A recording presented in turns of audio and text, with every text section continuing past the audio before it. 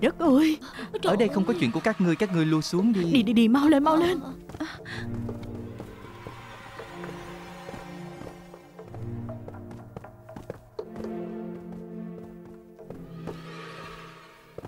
Khách không mời này từ đâu đến đây? Có chuyện gì không? Ngươi là ai? Ta là lão nhị trong bát đại kim cang ở bến cảng Kể từ hôm nay Trần Đại Gia đã giao phần kinh doanh kỹ diện ở bến cảng này cho ta quản đó. Địa bàn này và người trên địa bàn này đều được ta bảo kê. Người bọn ta tìm chính là ngươi. Ta không thích đại ba liễm nhà ngươi. Gương mặt đâu có được đẹp.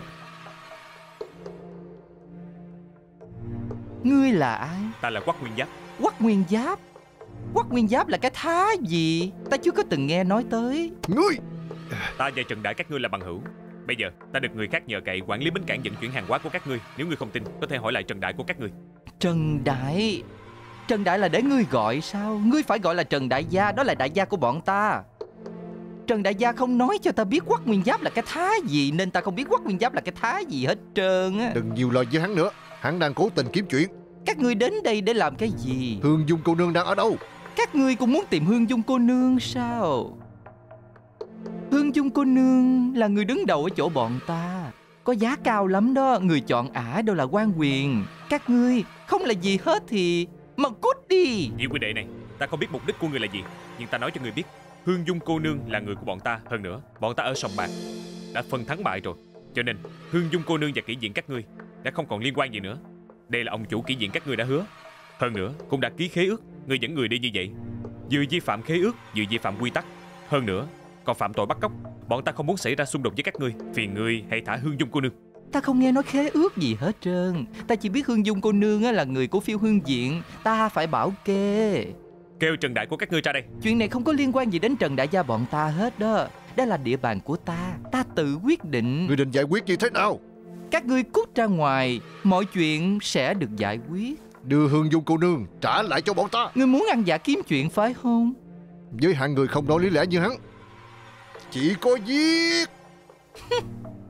Vị huynh đệ này Bọn ta không có ý giao chiến với ngươi Chỉ mong ngươi có thể làm theo quy tắc.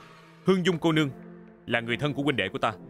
Cô ấy bị cuộc sống ép buộc Lầm lỡ bước vào kỷ diện Hy vọng ngươi có thể tác thành cho họ Trọng lòng giúp đỡ. Thả Hương Dung cô nương Biết đâu Bọn ta sẽ ghi nhớ ơn đức của ngươi Người thân? Người thân cái gì? Là thế tử hả? Thế tử của ngươi là kỹ nữ phải không?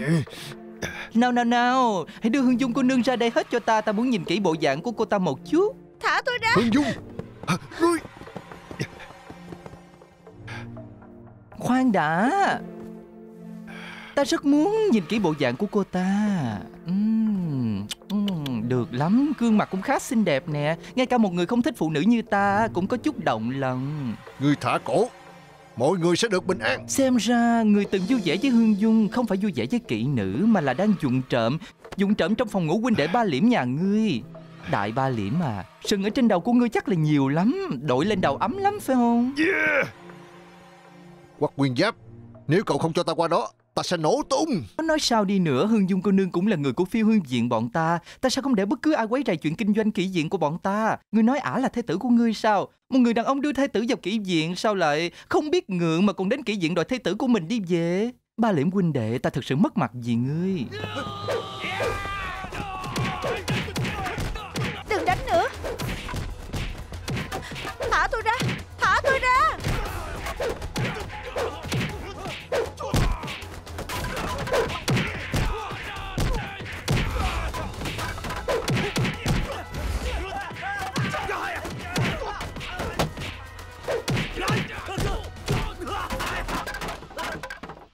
Túy tiên lầu.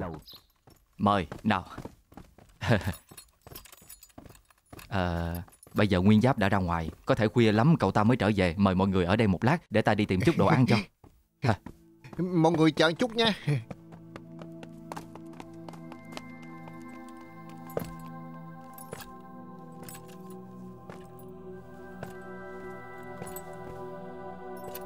Lưu bộ đầu Ta cảm thấy ở đây không giống trang diện của bố chính tư Người lưu tới nơi này cũng không giống người của lưu nhữ dực. Ta cũng thấy hơi kỳ lạ. Luôn cảm thấy nơi này quái gở gì hầm? Diên Hạo đi đâu rồi? Hay giờ mới cùng từ bà tử ra ngoài. Nó là có chút chuyện cần phải thương lượng đó. Ta luôn cảm thấy giữa họ có chút kỳ lạ. Trước đây Diên Hạo bỗng nhiên biến mất. Tử bà tự nói hắn đã đi thiên tân. Tiếp đó giữa đường hắn lại xuất hiện như một hồn ma. Sau đó họ đi vào rừng bàn bạc nửa ngày trời Không biết bàn chuyện gì. Chắc chắn là có vấn đề. Nè Tẩu Tẩu à.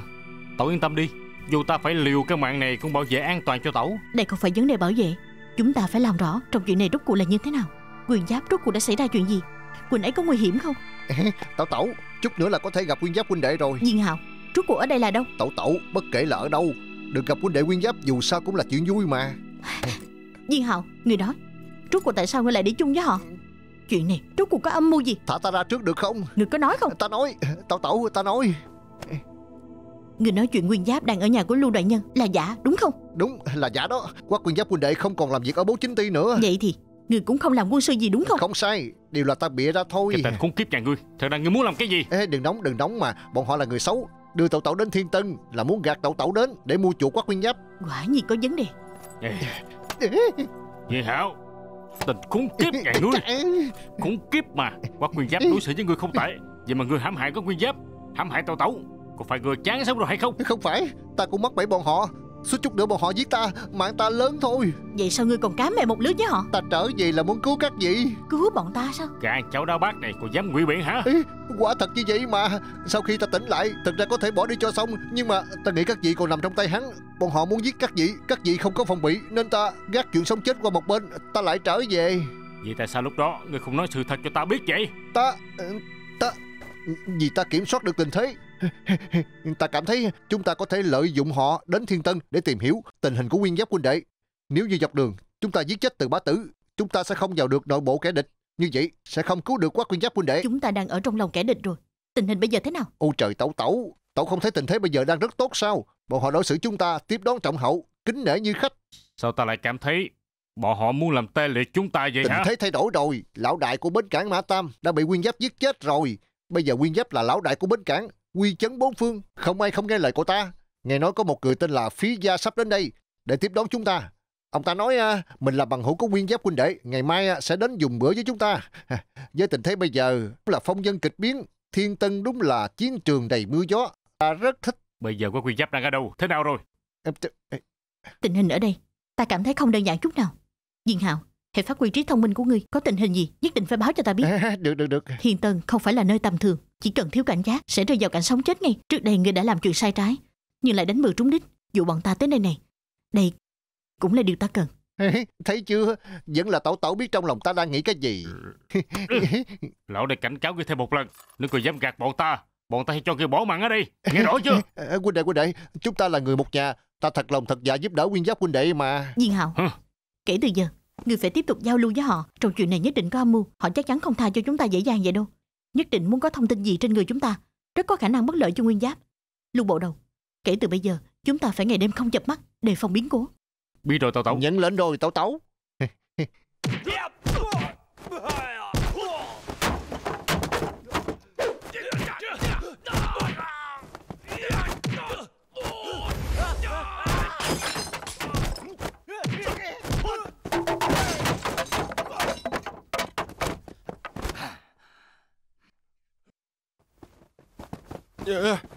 Đi.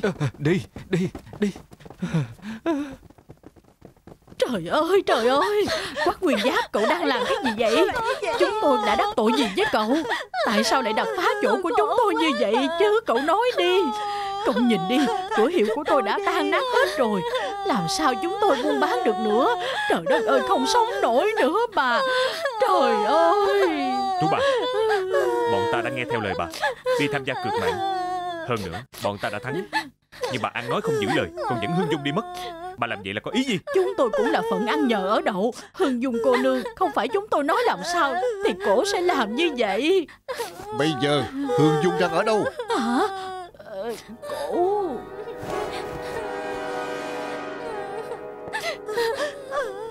Trời ơi đúng là muốn lấy mạng của tôi mà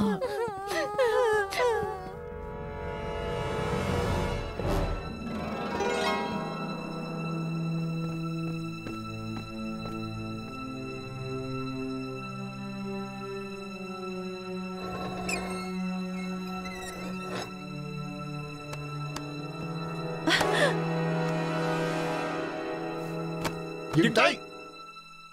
Quắc nguyên giáp Nếu người còn tiến thêm một bước ta sẽ nhấn dao cầu xuống ngay Nơi này máu sẽ chảy thành sông Ngươi muốn tiếp tục sống ở bến cảng này không? Người có ý gì Ngươi biết ta không? Ngươi biết ta là ai không?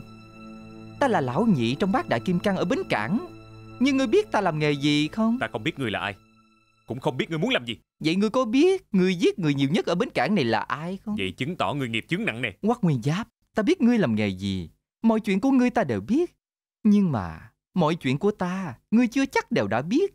Trên bến cảng này Lời nói của côn tử ban bọn ta Còn mạnh hơn thánh chỉ. Lời nói của hoàng thượng ở đây á, Chưa chắc có người sẽ nghe. Nhưng lời nói của ta ở đây Không người nào dám không nghe. Ngươi biết cân lượng của ta rồi chứ? Chứng tỏ người xem thường dương pháp hơn nữa. Ngươi là người thông minh. Trong lòng ngươi hiểu rõ. Ta không biết ngươi muốn làm gì. Nhưng ta nói cho người biết Tốt nhất ngươi nên thả hương dung cô nương ngay lập tức. Cổ với ngươi không thù không quán. Ta hy vọng chuyện này có thể mau chóng kết thúc Nếu ngươi thả cổ ngay bây giờ Bọn ta sẽ đi ngay Không Ngươi không đi được đâu Tại sao vậy Tại vì ta có một thói quen. Một phải là bằng hữu, hai phải là kẻ thù. Không phải bằng hữu, nhất định phải là kẻ thù. Ta không muốn trở thành kẻ thù với ngươi Nhưng mà mọi chuyện ngươi đang làm bây giờ đã đủ để chứng minh ngươi là kẻ thù của ta. Xin lỗi Ta không hề có ý trở thành kẻ thù với ngươi Ngươi đã hại chết hai huynh đệ của ta, Kim Cang Tứ và Kim Cang Ngũ, còn có Mã Tam Gia. Còn đã thương Kim Cang Bác, chỉ có thể kết thúc bằng thù hận. Đây chính là quy tắc của bến cảng Thiên Tân bọn ta. Thành thật xin lỗi Xin lỗi cũng vô ích. Ở nơi này, kẻ thù đều phải nằm ngang để mà khiêng ra ngoài. Nhưng lần đây, người phải nằm ngang ra ngoài là ngươi. Ta hy vọng Ngươi có thể trọng lòng thông cảm Các huynh đệ, thông cảm được không? Không có. Ở đây từng có mấy người phải nằm ngang khiêng ra ngoài. Tám người. Vậy với quắc nguyên giáp thì sao? Phải, Phải nằm ngang ra ngoài. Nghe thấy chưa? Huynh đệ ta đâu có đồng ý. Ta với ngươi không thù không quán Xin các ngươi trọng lòng nương tay Thả cổ đi Ngươi sợ rồi sao? Ta sợ rồi Ngươi là người đầu tiên nói sợ trước mặt ta. Nhưng nể tình ngươi nhát gan như vậy, ta có thể cho ngươi một cơ hội để ngươi tiếp tục sống. Bây giờ, ngươi hãy quỳ trên sàn nhà dập đầu ba cái cho ta. Kêu lớn một tiếng kim can nhị gia, ta sai rồi, ta là cháu của ông. Ngươi mới là cháu đó.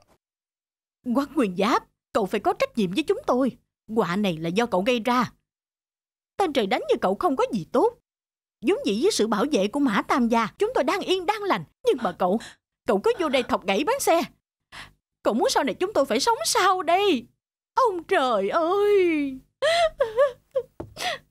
Nè, ba liễm kia, thế tử ngươi Thùy Mỹ Nết Na, mỹ nhân này, ở phía hương diện bọn ta đã hầu hạ rất nhiều người. Ngươi bị cấm rất nhiều cái sừng rồi đó. Sao, bây giờ muốn gỡ ra không? Không gỡ được đâu. Hai người có quỳ xuống hay không? Có kêu không? Nếu không ta bỏ tay ra, cái đầu xinh đẹp của ả sẽ dọn nhà đi đó. Quỳ Quỳ xuống xuống, quỳ xuống. Quỳ xuống. Lên đây. Ta nói cho ngươi biết nè, nếu ngươi còn không quỳ, ta sẽ cho ả trở thành một thí thể kiều diễm. Quỳ xuống, xuống quỳ xuống. Quỳ xuống. Quỳ xuống. Ngươi là anh hùng, phải bảo vệ đến cùng chứ. Để ả chết, hay là ngươi quỳ xuống? Ngươi tự chọn đi. À, xin mời.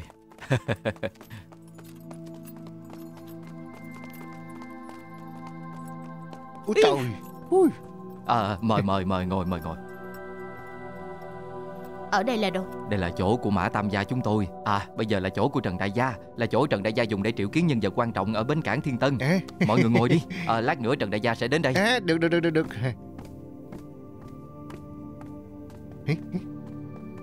chà, Nơi này được lắm đó. Ý, sao không có người rót trà vậy? Nè, rót trà đi. Mời bọn ta tới làm khách, không ai tiếp đãi. Chuyện này là sao? Mà rót trà đi. Có ai đây không?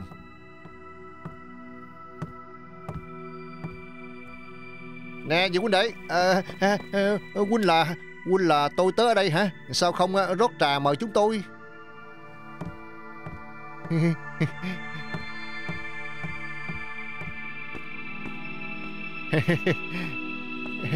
Trời.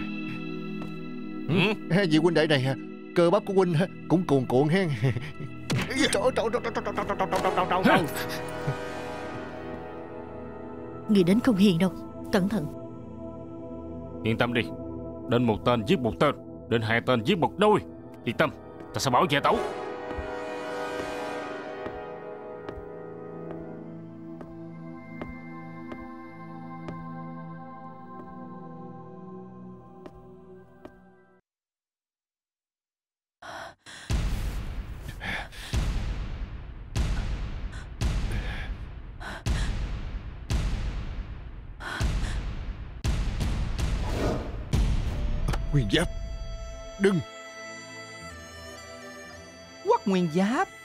Cuộc tranh đấu tàn khốc này đều do ngươi gây ra. Tại vì ở đây là bến cảng từ xưa đến nay Kiếm sống ở bến cảng đều là kẻ sống người chết. Giữa ban ngày ban mặt. Chẳng lẽ không còn dương pháp hay sao? Tất nhiên là có dương pháp. Hơn nữa dương pháp nhất định sẽ rơi trên đầu ngươi. Nếu Hương Dung cô nương chết đi Tất cả những người sống sót đều có thể làm chứng. Đây là việc làm của quắc nguyên giáp ngươi và đại ba liễm kia. Sau đó lấy đầu của các ngươi treo trên thành lầu. Sau đó nữa Tất cả mọi người sẽ quên các ngươi Bên cảng dưới sự quản lý của bọn ta vẫn giống như xưa Người phải đóng phí quản lý thì phải đóng phí quản lý. Người nên đưa con gái đến hậu hạ bọn ta Thì phải ngoan ngoãn đưa đến đây. Ở đây vẫn là thiên hạ của bọn ta. Ui, Thật sự rất độc ác. Kẻ mạnh sống kẻ yếu chết. Ngươi tự liệu lấy đi. Để ta quy Thậm chí Ngươi có thể giết chết ta. Chỉ cần ngươi tha cho Hương Dung Huynh đệ của ngươi Đều là ta giết Ta sẽ gánh hết mọi chuyện. Được thôi. Ngươi qua đây nằm dưới lưỡi dao cầu này á Thì ta sẽ thả Hương Dung cô nương. Ngươi sẽ giữ lời chứ? Tất nhiên giữ lời. Bà Liễm ca. Ta từng yêu người phụ nữ Đến hôm nay vẫn yêu cổ. Nếu cô chết Cả đời ta sẽ sống rất đau khổ. Ta đồng ý dùng sinh mạng của mình Đổi lấy sinh mạng của cổ. Quắc Nguyên Giáp Sau khi ta chết Hãy nhận xác cho ta 别。人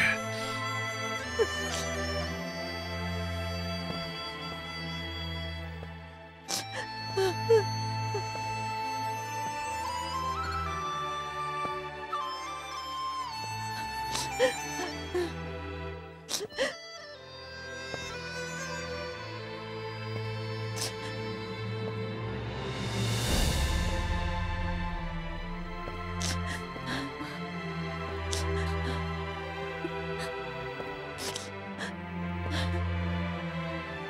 Bây giờ ngươi cứ việc ngoan ngoãn nằm xuống đây. Không ngờ các huynh lại ở đây.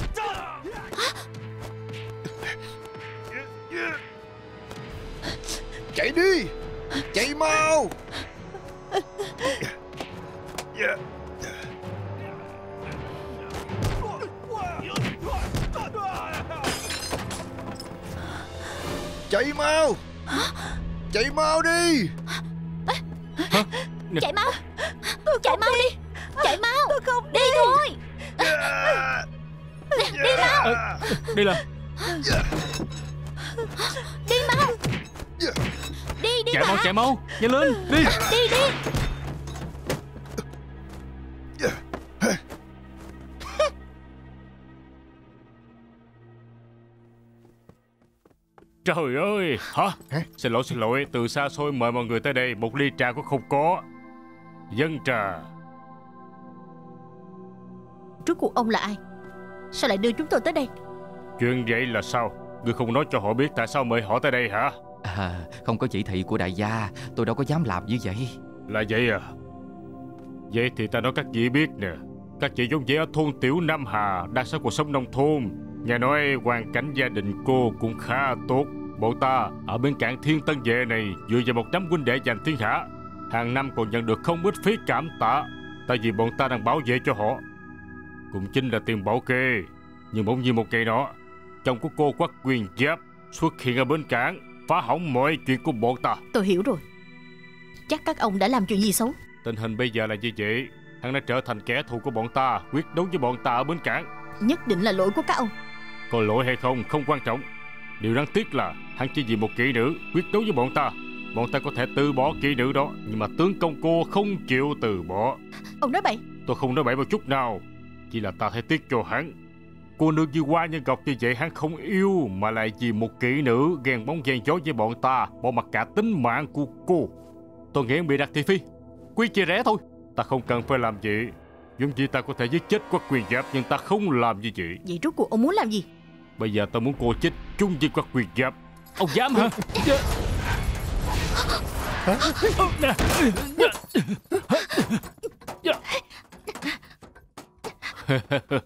Tên tiểu nhân bị ổi nhà ngươi Trong lúc sống chết tồn vong này Không có chuyện bị ổi hay không, kẻ thắng làm chua, nhưng chỉ là cuộc khoan nông ruột trả. Để sau khi bắt được quắc nguyên giáp, ta sẽ đưa hai người bọn cô xuống biển một lượt. Ta đã chuẩn bị cho hai người một con thuyền rất là tốt. Đưa hai người bọn cô đến một nơi rất xa, cùng hưởng thụ niềm vui sung về. Nước tôi, ngươi tưởng chỉ dựa vào ngươi. Ngươi cũng muốn chiến thắng quắc nguyên giáp sao? Tình khốn nạn này, lão này nói cho ngươi biết, ngươi không thể chiến thắng quắc nguyên giáp được đâu. Ai, dù sao cũng có điểm yếu. Quắc nguyên giáp chết chắc rồi, không phải ba ngày hôm nay, thì cũng là tối hôm nay thôi. Ừ, muốn chạy hả? Đi, Tại sao chỉ còn một người vậy? phải làm gì với hắn đây? Giết hắn đi. Đại gia, đại gia, đừng giết ta, đừng giết ta, ta không làm gì hết. Ta với họ không phải đồng bọn. Xin ông đó, đừng giết ta, đừng giết ta mà. Viên Hạo Đừng vô tích sự như vậy Tẩu tẩu, họ sắp giết ta rồi. Bọn họ sắp giết ta rồi. Làm làm sao ta có tích sự được chứ? Viên Hảo, kẻ chết có gì phải sợ chứ? Mau đứng dậy, đừng làm con rùa rút đầu. Ngươi nói nghe dễ quá, ngươi đến thử đi. Đại gia, ông đừng giết ta, ta sợ chết. Các ông giết hắn đi, lưu bố đầu, hắn không sợ chết. Ngươi, Đại gia, ông đừng giết ta nha. Ta thật sự không là gì hết, ta với bọn họ thật sự không phải một bọn đâu. Các ông giết ta, đối với chuyện các ông tiêu diệt quốc nguyên giáp không có lợi ích gì đâu mà. dừng ngươi lại, cũng không lợi ích gì hết. Không phải, không phải. Ta chết sẽ vô ích, ta sống mới có ích. Người sống sót có ích lợi gì hả? Ta, ta sống sót, lợi ích lớn nhất chính là có thể làm phản đồ của họ. Quyết định lương tựa các ông, toàn tâm toàn ý làm việc cho các ông, giúp các ông tiêu diệt quốc nguyên giáp. Nếu không có ta, các ông tiêu diệt quốc nguyên giáp có thể sẽ có chút khó khăn, thậm chí là không có khả năng. Nếu có ta, sẽ như là hổ thêm cánh vậy. Có thể tin hắn được không? Không tin được. Từ bá tử, ngươi không thể làm người giống ơn bộ nghĩa như vậy. Đến thôn tiểu Nam Hà, không có ta giúp, các ngươi có thể đưa vợ của quốc nguyên giáp. À không phải, à, tẩu tẩu ta đến thiên tân này không. Không có ta, tẩu ấy không thể nào đi theo các ngươi đâu. Dọc đường hai chúng ta còn hứa với nhau. Sau khi tới thiên tân, có phúc cùng hưởng mà đúng không? ngươi cười cái gì chứ? Ta còn cứu mạng ngươi mà, đúng không? Nếu ta không cứu ngươi, thì lúc đó ngươi thành ma dưới đau của ta rồi. Ngươi mau cứu ta, lấy ơn trả ơn đi. Có phải vậy không? Trần Đại Gia, ông tin hắn không? Ta đang hỏi ngươi, ngươi trả lời đi. Người khác thì không tin được. Nhưng mà hắn phản bội người ta, tin được. Đại gia, đại gia, thấy chưa? Có người làm chứng cho ta đó. Ngươi có thể cho ta điều gì chứ? Đại gia, ta có thể cho ông mọi thứ ông cần. Ta quyết định làm con chó trung thành nhất của ông. Ông kêu ta cắn ai, ta sẽ cắn người đó. Woo woo!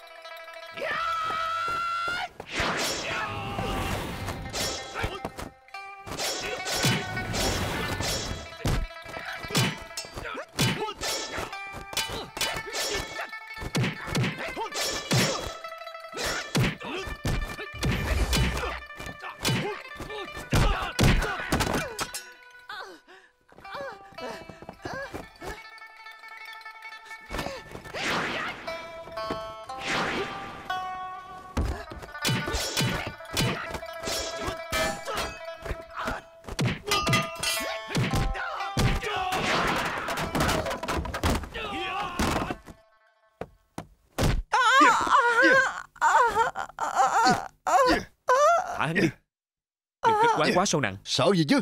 Bọn người xấu này, giết tên nào bớt tên ấy. Giết hai tên bớt hai tên. Mau thả hắn đi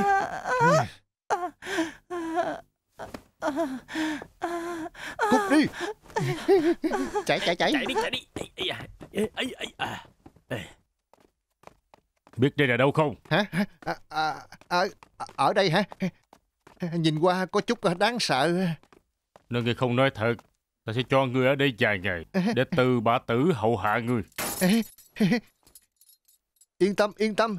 Ta sẽ nghe lời ông, ta thích vị anh hùng. Vừa nhìn thấy ông thì ta đã biết ông là một vị đại anh hùng, đại anh hùng thật sự. Ta hỏi ngươi, võ công có quyền giáp cao cỡ nào? Điều này ta không rõ lắm. Nào là đại chiến bàn sơn, quyết chiến miếu dược dương, đánh bại thiên hạ đệ nhất tà thần, lão gia bạch hộ tử. Ông nói công của hắn cao không? Ta hỏi ngươi, võ công của hắn rốt cuộc cao cỡ nào? Nói sao đây ta? Tóm lại, ta chưa từng thấy hắn bại dưới tay ai. Chẳng hạn như nói là có 50 người, tất cả bên cạnh hắn không đến thời gian một chén cơm đều ngã hết. 20 người chết, 30 người bị thương, còn quắc quyên giáp không hề hấn gì. Ừ, trời ơi. Ta kêu người nói về quắc quyên giáp, còn phải kêu người biểu dương hắn ta. Ta quên mất, ta quên mất. Quắc quyên giáp này có là gì đâu. Nếu hắn nằm trong tay ông á, hắn sẽ không là gì hết. Các ông là ai nào? Các ông là người của Phủ Thiên Tân, là người của quan Phủ, là người của nơi nổi tiếng. Quắc quyên giáp này chính là thôn dân của thôn Tiểu Nam Hà, thôn Phu Sơn Giả, Cốc ngồi đáy giếng không thể làm nên trò trống gì. Đừng nói rằng linh tinh với ta nữa. Làm sao mới có thể chế ngự quắc quyên giáp được Chế ngự quắc quyên giáp hả? Điều này... Nói mau. Có một cách này. Nói. Quắc quyên giáp này, võ công của hắn thật sự cao cường. Người bình thường không thể đối phó hắn. Chúng ta không thể dùng cách trắng trợn, chỉ dùng cách trầm lặng âm thầm trừ khử hắn. Phải làm sao? Hạ độc. Dùng độc dược thuốc chết hắn. Hạ độc à? Ta không phải không nghĩ tới. Nhưng mà chúng ta không có cách nào tiếp cận được hắn. Người có thể hạ độc trong thức ăn của hắn. Chỉ có thân tính của hắn thôi. À, chuyện này ta có thể làm được. Có thể hạ độc được à? Dạ đúng đúng đúng đúng đúng. Chỉ cần thả ta về bên cạnh hắn, ta có thể hạ độc hơn nữa, hắn sẽ không nghi ngờ ta. Tại sao ngươi phải gạt ta? Ta không gạt ông, lời ta nói đều là thật mà. Tại sao ngươi muốn giúp ta trừ khử quá quyền giáp vậy? Tại vì... Tại vì ông lợi hại hơn hắn. Ta muốn nương tựa ông. Chính vì điều này à? Ông biết rồi, chim chết vì miếng ăn, người chết vì tiền mà. Quắc cương giáp này ta với hắn cũng không phải quan hệ họ hàng gì. Hơn nữa bên cạnh hắn còn có tên ờ, Đại Ba Liễm, à, Lưu Bố Đầu. Ngày thường có chuyện tốt gì cũng không tới lượt ta đâu. Ta không mong đợi gì hắn. Ta chỉ còn cách một lòng một dạ nương tựa ông rồi, Trần Lão Đại. Ngươi muốn làm cái gì? Ta không dám nói. Nói! Ông biết rồi, ta đây ờ, vừa mới đến Thiên Tân, muốn mua vài căn nhà. Nhưng mà kinh phí quá lớn. Sau khi ờ, làm xong chuyện này, ông có thể cho ta một ít thù lao không? Không nhiều lắm, chỉ một 50 lượng là đủ. Sau khi làm xong chuyện này, ta cho ngươi 100 lượng. đa tạ, đa tạ Trần Đại Lão Gia, ông yên tâm. Chuyện này ta chắc chắn sẽ làm rất tốt đẹp. Chỉ cần ta có tiền, cái gì ta cũng có thể bán đứng hết.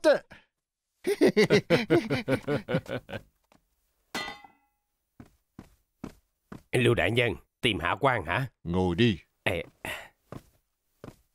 Phó Đại Nhân, ta vừa mới nhận được tin. Nói là kỹ viện ở bến cảng xảy ra ác chiến với băng đảng. Ta muốn biết con gái ta có ở kỹ viện không? Hạ quan nhận được tin. Con gái ngài quả thật ở đó. Vậy tại sao ngươi không ngăn cản mang nó về cho ta? Ê, ê, lúc đó hạ quan thật sự đã dẫn người đến kỹ viện. Nhưng sau khi đến đó, mọi chuyện đã kết thúc. Hai phía quyết đấu đều không thấy tung tích. Kỹ viện bị đập phá đến rất bừa bộn. Đám kỹ nữ đều bỏ chạy hết. Tú bà trở thành một người điên rồi. Cũng có nghĩa là con gái ta lại biến mất rồi. Quả thật là như vậy. Phó đại nhân, ở đây là đâu? À... Thiên Tân, Thiên Tân là địa bàn của chúng ta. Con gái ta đi mất lại không thấy tung tích. Ngài nói đã hỗn loạn như thế nào? Thiên Tân này chúng ta cai quản ra sao? Đại nhân, đây không phải lỗi của ngài, cũng không phải lỗi của hạ quan. Đại Thanh Triều từ chiến tranh Á Phiện đến nay, nước mất nhà tan, triều đình bất lực, dân chúng gặp quả, phản tặc hoành hành. Điều này không phải ai cũng có thể cứu vãn, bình định thiên hạ được. Nói nhảm. Thái bình nghịch tặc có lợi hại không?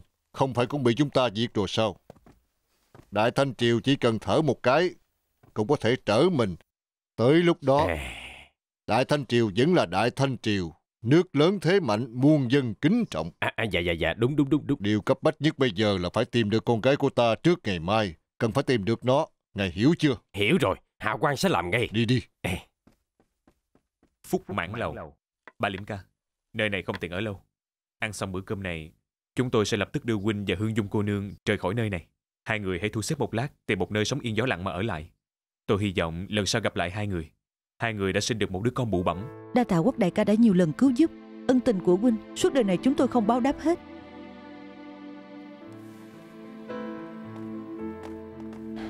Xin nhận một lời của phu thê chúng tôi. Hey, mau đứng dậy đi.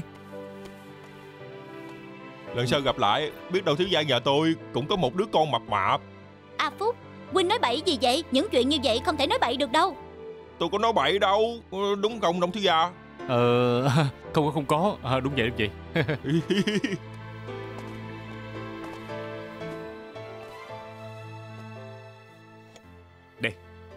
Nào Ta cảm thấy có thể bọn họ vẫn gây phiền phức cho chúng ta Không tha cho chúng ta như vậy đâu Chúng tôi cũng tuyệt đối không đến bến cảng Thiên Tân nữa. Ăn xong bữa cơm này, sau khi hai người đi, chúng tôi sẽ lập tức rời khỏi Thiên Tân. Kho hàng ở bến cảng, bất kể thế nào cũng không được trở về. Chúng không phải muốn đuổi chúng ta, mà là muốn tiêu diệt chúng ta. Chỉ bằng, chúng ta hãy tự rời đi. Các vị khách quan Sao lại là các ngươi? Còn muốn gọi thêm món gì không? Ta nói trước nha Chỗ chúng tôi không phải là chỗ ăn quỵt đâu đó. Nếu như ngươi không có tiền thì bây giờ hãy đi đi. Quỳnh nói ai không có tiền? Chúng tôi có rất nhiều tiền bộ.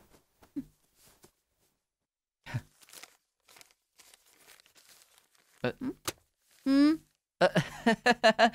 Giỡn thôi mà giỡn thôi mà Nhìn cách ăn mặc của các vị công tử chính là người có tiền. Món ăn đủ chưa? Gọi thêm đi Dạ đi thông thả. nhị Ờ, Hai vị tiểu ca có chuyện gì không ạ? À? À, à, à, à, Ta hỏi ngươi cái gì ngươi trả lời cái đấy. Đừng nói thêm câu gì. À, Quỳnh nói đi. Lưu Linh Vũ đang ăn cơm ở tử lầu các ngươi sao? Ai là Lưu Linh Vũ vậy? Tôi đâu có quen biết người này. Đó chính là Một cô gái. Trong tủ lầu của chúng tôi đâu có con gái Chỉ có mấy người nam nhân. Chính là người đã đánh mã tam gia. Chính là bọn họ. Trong đó có phải có một công tử Có vẻ bề ngoài rất thanh tú không? À phải. Có có có có có. Cậu ta rất là giống con gái. Bọn họ đang làm gì? Đến đây tất nhiên là ăn cơm rồi. Nhưng mà lần này họ đã đem theo tiền. Chắc là đủ tiền rồi Không có ăn quỵt nữa đâu. Trở về trong chừng bọn họ cho ta. Có tình huống gì? Phải báo cho ta biết. À dạ dạ dạ dạ Báo cho huynh biết. Vậy anh Hùng này à Rốt cuộc huynh là ai vậy hả? Người của quan phủ. Bọn họ là phần tử nguy hiểm. Nếu không thông báo cho ta biết Ngươi sẽ là đồng tội với bọn họ. À, à, Thì ra là quan gia. À, Dạ tôi biết ngay mà. Sợ chết đi được. Bây giờ tôi sẽ đuổi bọn họ đi liền. Không được đuổi họ đi. Chỉ được giám sát bọn họ. Đây là thù lao của ngươi. Ngài yên tâm. Bây giờ tôi sẽ về giám sát bọn họ Thật chặt chẽ Không chút sơ xuất Tốt. Lưu Linh Vũ này. Ừ. Kiếp này. Rất kính phục anh hùng hào kiệt. Ra đây sông pha giang hồ Được quen biết các vị ta rất vui mừng Quát huynh Ta kính huynh một chung Được quen biết, vị bằng hữu như hiền đệ đây. Tôi thật sự dạng phần vui mừng. Mời. ừ.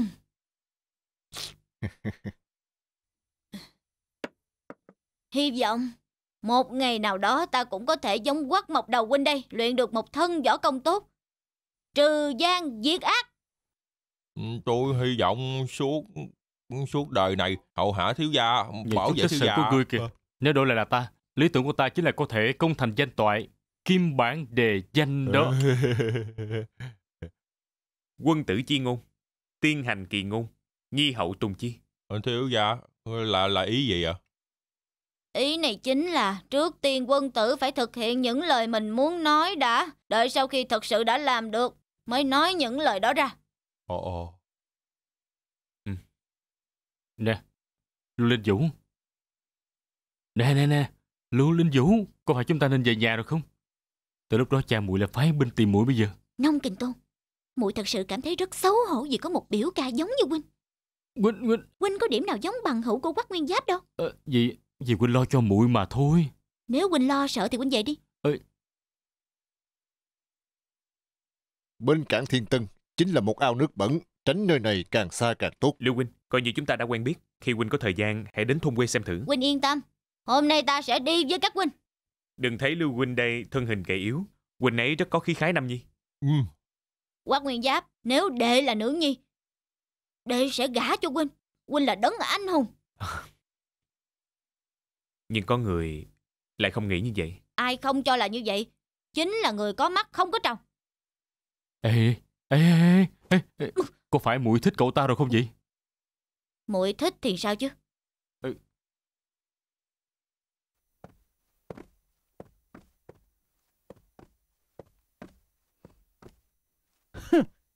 Quả thật không ngờ, đối thủ của ta Quách Nguyên Giáp còn có một cô vợ như Hoa như Ngọc vậy.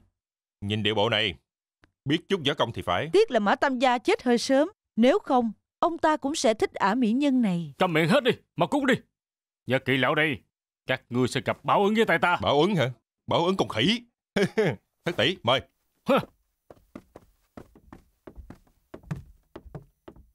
Xem ra Họ vẫn chưa làm gì được nguyên giáp Cho nên mới bắt ta làm con tin. Nhưng mà bây giờ chúng ta không thể ra ngoài. Làm sao có thể cho Nguyên Giáp biết chúng ta đang bị giam ở đây chứ? Ta nghĩ tạm thời họ sẽ không làm gì chúng ta. Bây giờ chúng ta phải nghĩ cách đối phó Trước họ. đây đã cảm thấy Dương Hạo không phải người tốt rồi. Bây giờ coi bộ nhiên không phải người tốt lành gì. Hắn không phải vấn đề lớn. Bây giờ điều quan trọng Chúng ta vẫn chưa biết nguyên giáp ở đâu Bà Liễm ca, bây giờ cũng đã muộn rồi. Chỉ bằng chúng ta nhân lúc nửa đêm rời khỏi bến cảng Thiên Tân. Tôi tin đến sáng mai mọi chuyện ở đây sẽ qua thôi. Chúng ta và bến cảng Thiên Tân không còn bất cứ quan hệ gì nữa. Bây giờ là 10 giờ tối rồi. Cái này là cái gì ạ? Ờ để Huynh coi thử coi Cái này là đồ chơi của người Tây Dương gọi là đồng hồ bỏ túi. Người Tây Dương dùng để coi giờ. Nhìn đi. Bây giờ là 10 giờ tối rồi. 10 giờ là là là cái gì? Có nói Quỳnh cũng không biết. Quất một đầu. Quỳnh coi. Quỳnh biết đây là cái gì hay không? Ờ, tôi không biết. Quỳnh nghe đi. Quỳnh có nghe thấy tiếng chuyển động của kim gió không? Đúng là có tiếng lách cách lách cách. Ta đây sẽ giới thiệu cho Quỳnh biết. Kim này là kim giờ. Kim này là kim phút. Kim giờ đại diện cho giờ. Kim phút đại diện cho thời gian của mỗi một giờ. Kim giờ chỉ vào chỗ này chính là giờ trưa. Kim giờ chỉ vào chỗ này chính là sập tối. Chỗ này đại diện cho buổi chiều, chỗ này đại diện cho buổi tối. Kim giờ xoay một vòng đại diện cho một ngày đã trôi qua. Giờ tí buổi tối, kim giờ, kim giờ lại chỉ vào vị trí phía trên đây nè. Bây giờ Huynh đã hiểu hết rồi chứ? Tôi không hiểu. Trời ơi, nghe không hiểu, nghe không hiểu. Cái gì mà kim này với kim kia? Tóm lại ờ, không được tiện dụng như kim khâu y phục trong nhà. Nè Lô Linh Vũ Đây còn có đồ chơi vui như vậy hả Ừ nè, Đồ của người Tây Dương không có gì là tốt đâu. Đều là gạt người thôi. Quát một đầu. Nếu như Huynh thích, ta sẽ tặng cho Huynh chơi vài ngày coi như để tặng Huynh. Lưu công tử, hay là công tử hãy giữ lại đi. Quắc Đại Hiệp Không hay rồi Quắc Đại Hiệp Có chuyện rồi Xảy ra chuyện lớn rồi Xảy ra chuyện gì vậy? Ta muốn nói bà đến đây làm gì?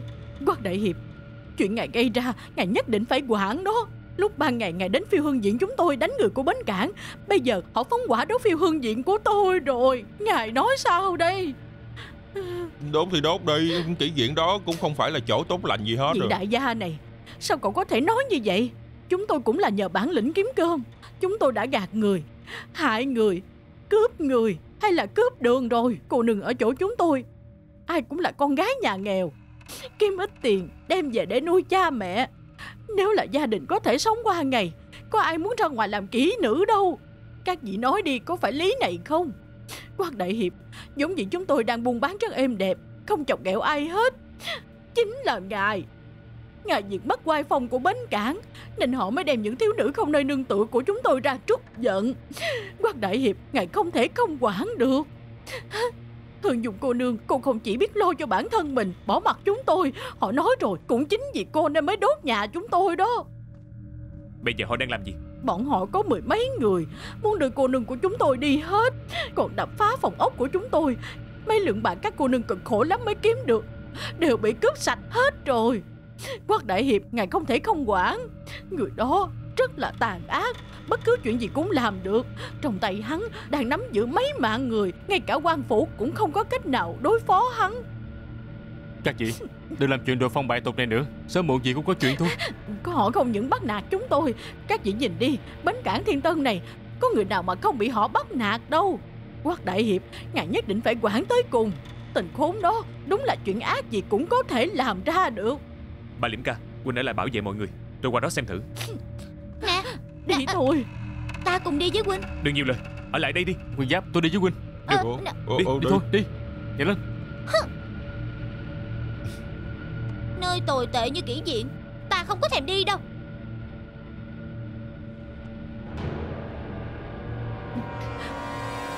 Các cô nương Các cô ở đâu Mau ra đây đi Quát Đại Hiệp tới cứu các cô rồi Quách Đại Hiệp, Tôi đang ở đây nè Những người khác đâu?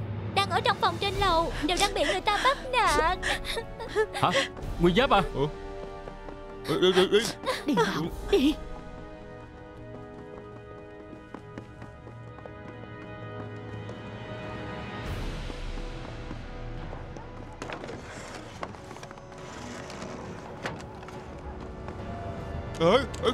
Ê, nè nè mở cửa Mở cửa. Đám dòng quan bộ nghĩ như các người Bà giam chúng tôi ở trong này làm gì Chúng tôi đến giúp mấy người mà. Thiếu gia, Bọn họ khóa cửa nhốt chúng ta rồi.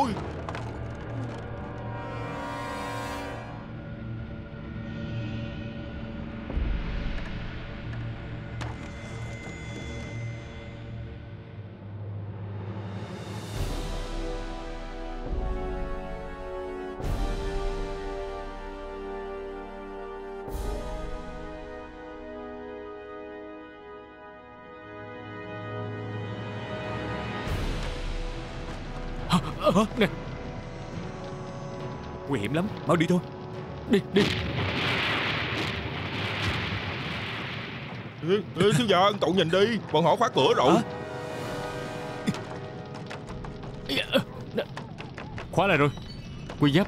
Bọn họ độc ác thật. Phải làm gì đây thiếu gia? Túy tiên lầu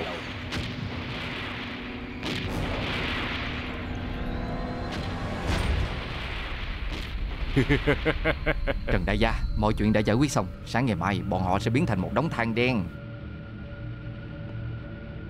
Được rồi. Ta muốn cho họ biết Trần Đại này không dễ bị chọc ghẹo Chuyện sau đó chuẩn bị tới đâu rồi? Đã thu xếp xong hết.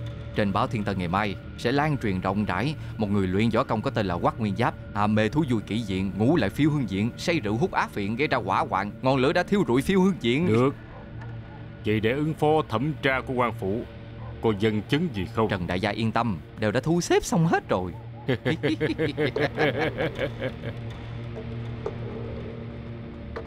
Trần Đại Gia Tôi làm gì có ngoạn mục không? Về Về phía quan phủ bà nói thế nào? Sau khi quắc nguyên giáp đánh đuổi Kim Cang Nhị Đã chiếm đoạt phi hương diện Kêu tôi tìm sáu cô nương hầu hạ hắn Còn mời bạn thân của hắn Nông Kình Tôn Ăn uống no say ở trong phòng cô nương. Tay ôm tay ấp Mỗi tay giữ lấy một người. Sau đó hắn uống tới say mềm Còn đòi hút á phiện. Kết quả là gây ra một trận hỏa hoạn Tôi nhìn thấy đám cháy Liền mau chóng chạy ra ngoài. Nhưng hắn say tới nỗi chạy không nổi Nên đã bị lửa thiêu chết. Tôi nói như vậy có được không? Tài An nói được lắm. Là Trần Đại Gia biết cách dạy thôi. Trần Đại Gia, lần này ông có thể xóa nợ cho tôi rồi chứ.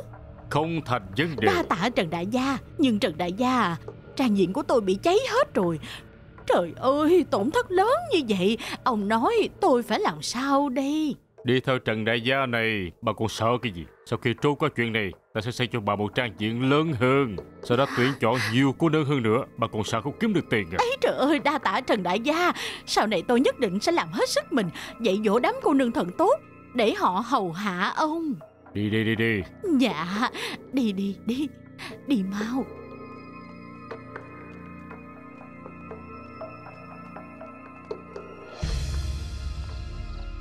Đại nhân Đại nhân Tình huống khẩn cấp Tình huống khẩn cấp. Hạ quan phải lập tức hồi báo. Nửa đêm nửa hôm có ma hay sao? Đại nhân Nói. Kỹ diện phiêu hương diện Bị cháy rồi. Ngài có thể cho ta nghỉ ngơi một chút không? Có thể làm chuyện chính đáng không? Kỹ diện bị cháy cũng là chuyện ngài nên quản sao? Không phải đâu đại nhân. Quắc nguyên giáp Bị chết cháy trong kỹ diện rồi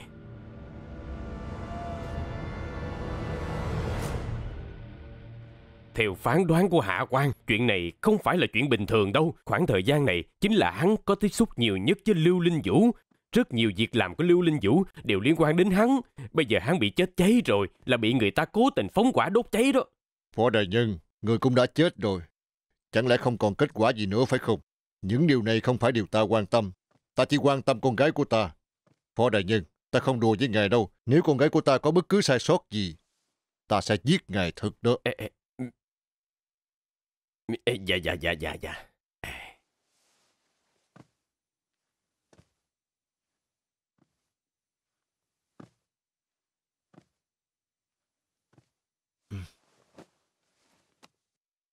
Ê, Đại nhân, ngài còn có chuyện gì nữa không? Ta muốn nghỉ ngơi một chút Lui xuống đi Dạ. Trần Đại Gia, Trần Đại Gia, có tình huống, có tình huống. Tình huống gì vậy Quắc Nguyên Giáp, thật ra vẫn chưa có chết. Có người nhìn thấy họ phá tường thoát ra ngoài. Thật không Không sai. Hơn nữa chúng tôi đến đống đổ nát xem lại rồi. Phi hương diện bị cháy, thật ra không có một thi thể nào. Mau tìm có quy giáp Đừng hắn còn sống Hãy đuổi hắn đi Hoặc là ừ, Dạ được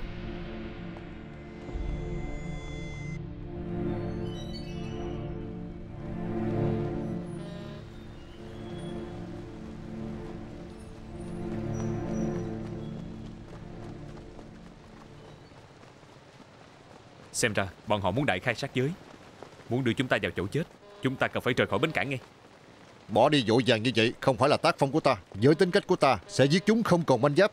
Mục đích không phải là đánh Mục đích của chúng ta là phải lập tức rời đi Sau khi chúng ta rời đi Ở đây sẽ được sống yên biển lặng Bà Liễm ca Quỳnh định đi đâu Ta cũng không biết. Ra ngoài mới tính đi. Nguyên giáp. Nguyên giáp. Nguyên giáp cuối cùng cũng tìm được mọi người rồi. Dương Hạo sao huynh lại ở đây Ta cố tình tới tìm mọi người đó. Làm sao ngươi biết? Bọn ta ở đây? Trần Đại chính là cá. Trần Đại ở bến cảng. Sao ngươi quen biết Trần Đại? Vì ta cổ động cái lưỡi ba tấc không thối nữa của ta. Học theo hàng tính. Chịu đủ nỗi nhục luồn cuối Mới thoát ra ngoài được. Tẩu tẩu đã bị bọn họ bắt rồi. Hả? Người nói cái gì? Tẩu tẩu bị bắt rồi. Ta trốn ra ngoài báo tin cho mọi người đó. Chúng ta mau đi thôi. Đi cứu tẩu tẩu đi nhanh lên Chị Lan Sao chị Lan tới đây vậy? Không còn nhiều thời gian nói đâu. Bây giờ mũi ấy đang ở đâu? Ở bên cảng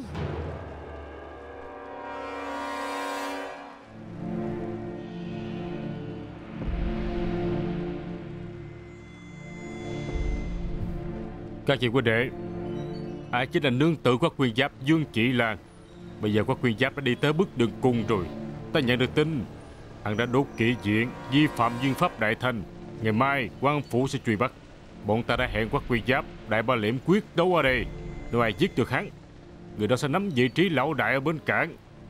Cơ hội chúng ta đã tới rồi. Được, được. Thật tốt quá Tiếc là ta không dẫn theo cháu ta tới đây. Vị trí này là của ta.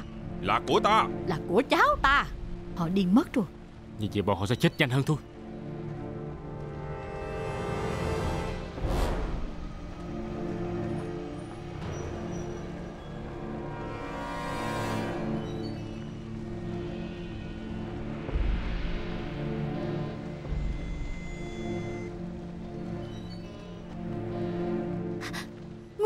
Nguyên giáp.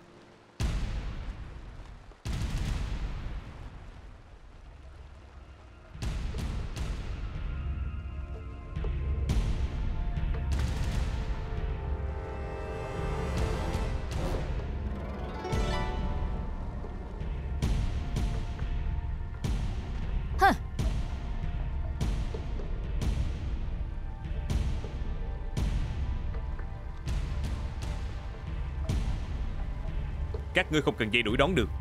Hôm nay Ở bến cảng Thiên Tân này chúng ta sẽ Quyết trận thắng thua. Quắc quyền giáp Người quả nhiên đúng giờ. Vốn dĩ bọn ta định mau chóng rời khỏi nơi này Nhưng không ngờ Người gạt thê tử ta đến đây. Trần Đại Người bất nhân Thì đừng trách ta bất nghĩa. Chúng ta sẽ quyết một trận thắng thua. Lão đại đã hạ quyết tâm Giành lấy bến cảng của ngươi. Đuổi hết bọn khốn kiếp các ngươi Ra ngoài hết. Lão đây muốn ngồi lên vị trí lão đại của bến cảng này. Dương Hạo Người lại phản bội rồi. Tiểu gia đây nói với ngươi rồi Sinh ta chính là tên phản đồ. Các quý đệ. Giết đi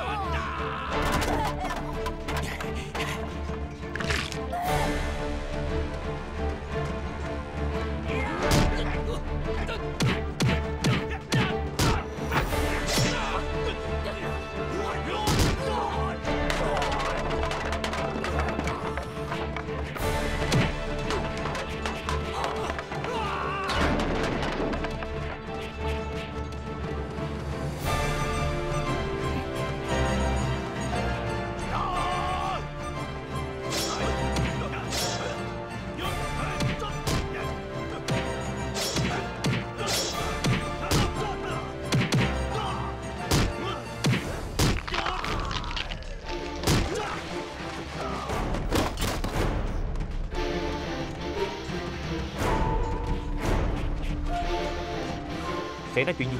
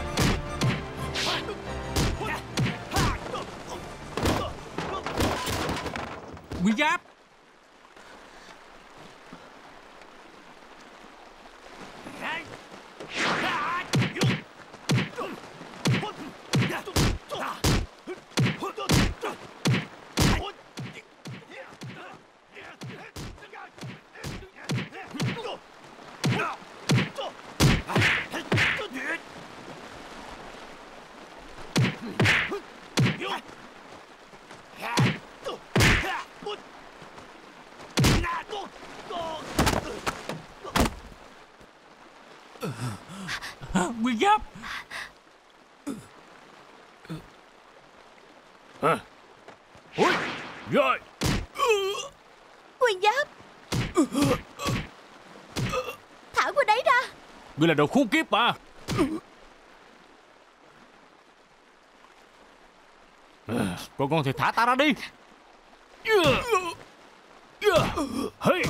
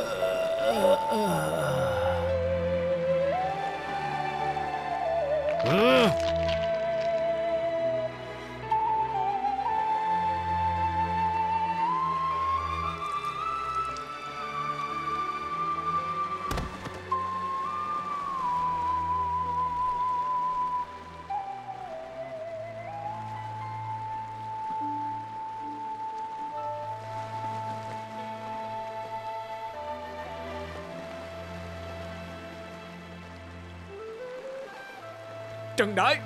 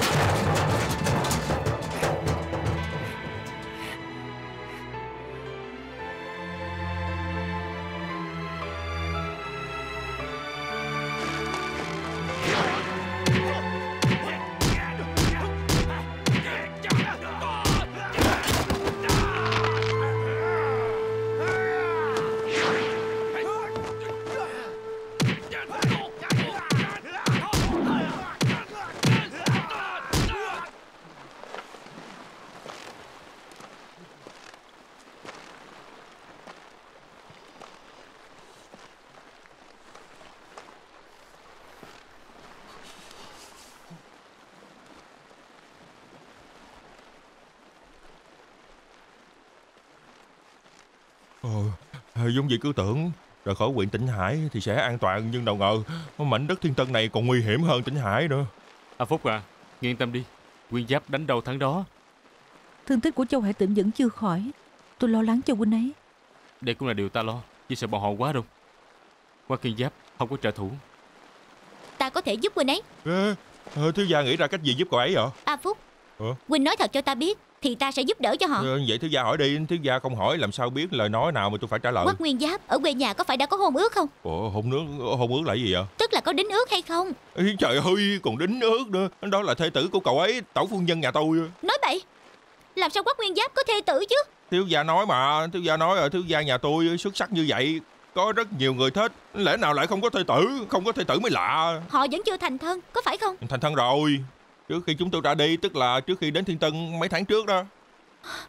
Không thể nào Ê, Một vị anh hùng Vẫn chưa tìm được người xứng đôi Sao có thể thành thân được chứ Trời ơi, sao sao sao lại không xứng đôi? Tẩu phu nhân nhà tôi á, cũng là một vị anh hùng chứ bộ, võ công cao lắm nha. Ây, cụ. Ủa. Ừ, Cậu. Cậu.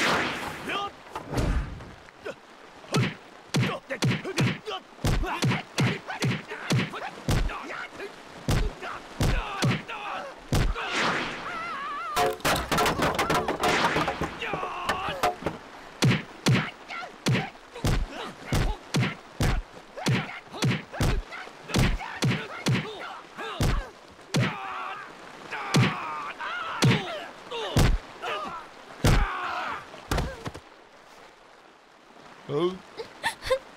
Ừ. Con người cậu vô lý thiệt. Cậu đánh tôi Tôi vẫn chưa khóc mà cậu khóc vậy Không đúng A Phúc.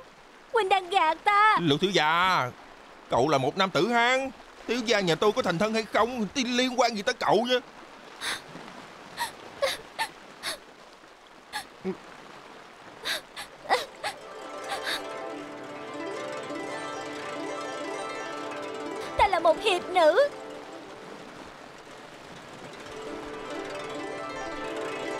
Chẳng lẽ Cô thích thiếu gia nhà tôi hả? Quắc nguyên giáp Chỉ có thể là của ta. Ừ, Ê!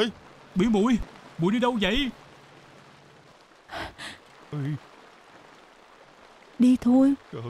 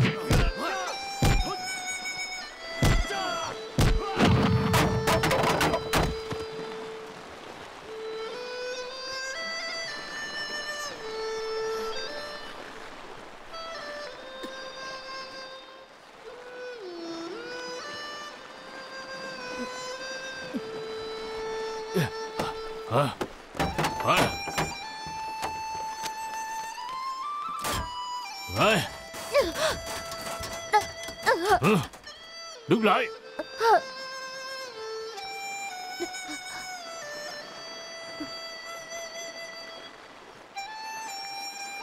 Muốn chết thì chết chung với nhau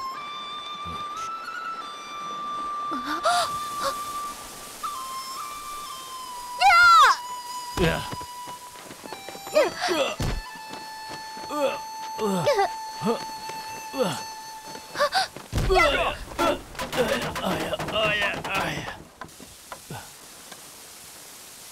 Chạy mau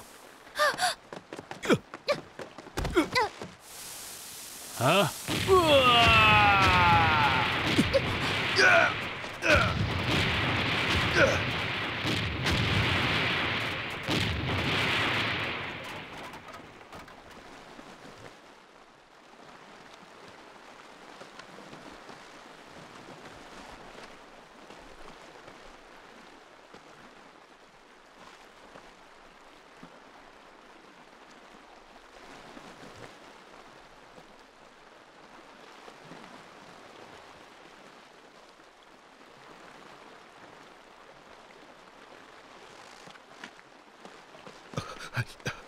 Nguyên Giáp.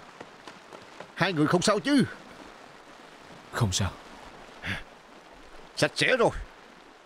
Mọi thứ đều sạch sẽ rồi. Tại sao nhất định phải đổ máu? Mới đạt được kết quả chứ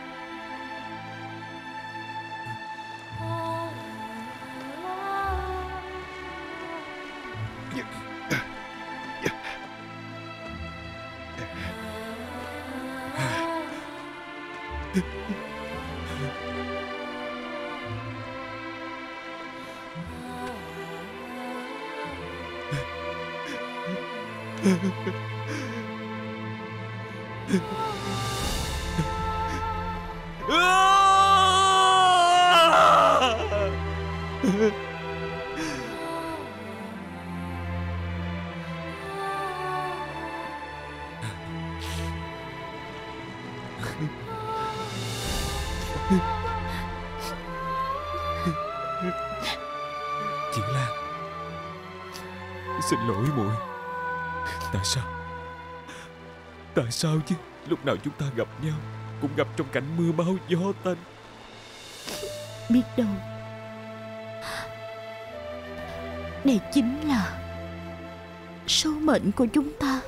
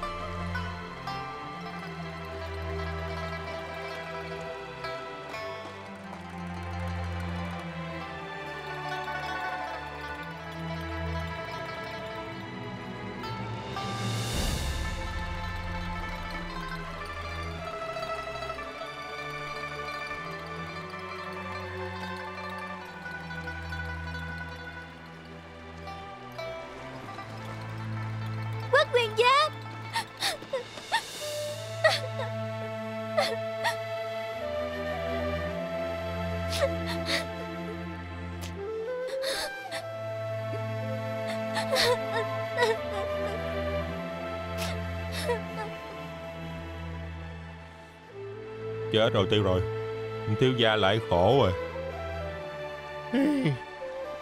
Thế gian này sao lại kỳ lạ tới như vậy? Ừ. Ê, ê, ê.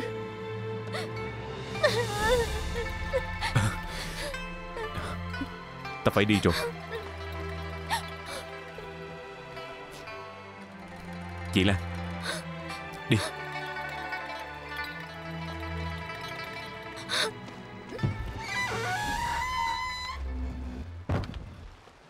Quát Nguyên Giáp. Người không được đi. Trên bến cảng đang rất hỗn loạn. Phải có người chỉnh đốn. Chỉ có ngươi Mới có năng lực này. Ta khuyên ngươi tốt nhất nên ở lại. Nếu ngươi không ở lại, Sẽ có người khác đến chiếm lĩnh nơi này. Từ lúc đó, Ngươi chịu khổ, Ngươi chịu tội, Vẫn phải là bá tánh. Ngươi có nghĩ tới không? Chỉ có ngươi Mới có thể trấn giữ. Hãy ở lại đi Ta sẽ giúp ngươi Ta cũng cảm thấy ở lại tốt hơn. Giang sơn mình giành được. Nhường cho một kẻ xấu. Chi bằng tự mình giữ thiên hạ. Nguyên Giáp Để xem Đây có phải lý tưởng của huynh không Ừ. Huynh tự quyết định đi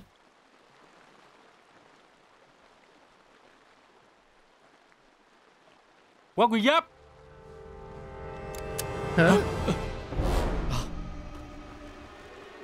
Cuối cùng ta đã biết ngươi là quát nguyên giáp. Ngươi đã gạt bọn ta 500 lượng bạc. Ngươi là tên bị bợm lừa gạt cách mạng. Hôm nay có hai con đường để ngươi chọn. Một Trả ngân lượng cho bọn ta. Hai Lấy mạng của ngươi để bồi quan